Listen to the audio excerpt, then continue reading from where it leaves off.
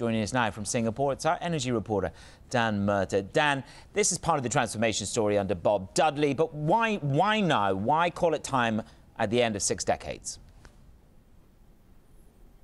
Yeah, man, see exactly right. Uh, BP owns part of one of the biggest oil fields in Alaska. It's the biggest owner of the 800 mile long pipeline that makes Alaska oil po possible.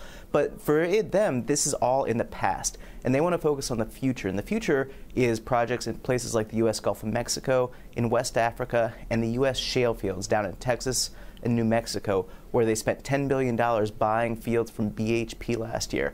They want to focus their capital there because unlike Alaska, where production's been declining for years, they, these prospects can still grow and increase BP's output and, uh, and provide more revenue and more growth for its shareholders into the future. Dan, give us a little bit more context on Hilcorp and what its plans are.